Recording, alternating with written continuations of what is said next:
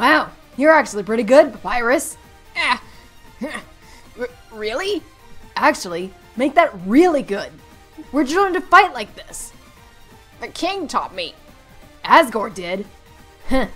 You know, I tried to take him down myself too, but I couldn't land a hit on him. Yes, that happened to me too. Wow! Anyway, you've definitely got the skills to be in the guard. And you can take a hit too, so that's good. But before I let you in, I gotta know what's in your heart. I don't have a heart, actually. No, like, what makes your blood boil? You know, your guts. I don't have those either. No, uh, okay. What do you want more than anything, Papyrus? Love and, affection. I was looking for justice, but okay. If you're a royal guard, people are going to be counting on you to protect them.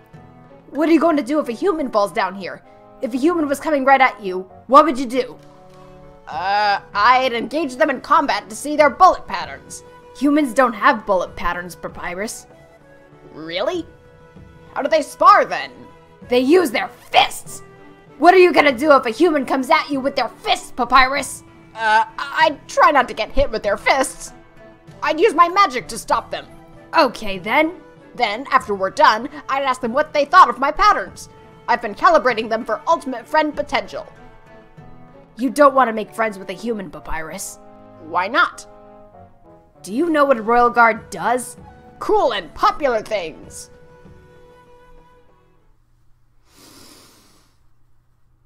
Can you give me a minute? Uh, Undyne? Is everything alright? Undyne? Jeez. Jeez, this guy. He's gonna get eaten alive. Uh, so I just checked our, uh, papers, and, uh, we don't have any positions open right now. Uh, b- but, but, the minute something opens up, I'll call you, okay? You're at the top of my list, I promise. Oh. But, uh, in the meantime, why don't you, uh, come over anyway? And I'll give you lessons. Lessons? Uh, yeah. Um, cooking lessons. All great warriors need to know how to cook. How about that? Do you like cooking?